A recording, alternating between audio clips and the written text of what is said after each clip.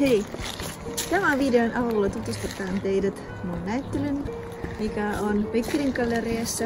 Näyttely kestää kolme viikkoa huhtikuun 14. päivään asti.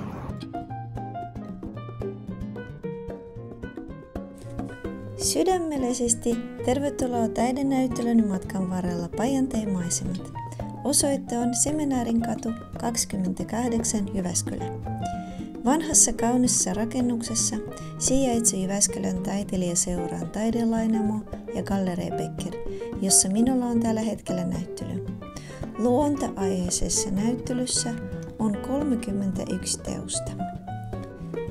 Galleriassa noudetaan kaikki terveysviranomaiset yleisiä ohjeita ja suosituksia. Näyttelyn yhteydessä telkkarissa pyörii noin seitsemän minuutinen tekemä video, jossa raotiin työskentelyn salaisuuksia Pajanten saarella. Kolmessa viikossa kävijät pääsivät nauttimaan esillä olevista maalauksista. Näyttelyssä on erikokoisia öljyväri, akryyli- ja akvarellimaalauksia, jotka kuvaavat keskisuomalaisia järvimaisemia sekä metsän ja luonnon ilmiöitä. Työskentelen päivittäin työhuoneessani ja luonnossa ja saan siitä suurta nautintoa ja samalla etsin uudenlaisia ammatillisia mahdollisuuksia toimia kuvataiteilijana. Esillä on perinteisiä öljy- ja akryyliteoksia sekä uusimpia maalaustekniikan oivalluksia. Työssäni käyttää myös luonnonmateriaaleja kuten tuohta, kuivatettua kasvia, risuja ja hiiniä.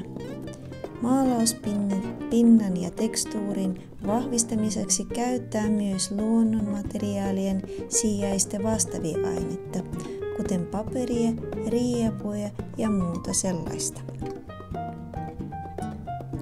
Mielestäni tärkein erityispiirre taiteissani on se, että maalaamalla upottaa tauluihini ilmaa ja elävyyttä, rikkomalla kaksiulotteisen pinnan avaraksi ja syväksi.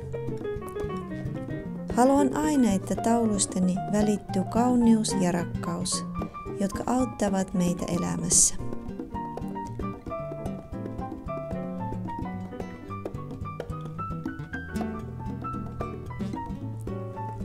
Viikonloppuna 10. ja 11. huhtikuuta galleriassa on taiteilijatapaaminen ja työnäytös. Tule inspiroitumaan taiteista ja löydä itsellesi tuttuja ja rakkaita Pajanteen maisemia. Luonnosta ja taiteesta saat aina energiaa ja voimaa elämääsi.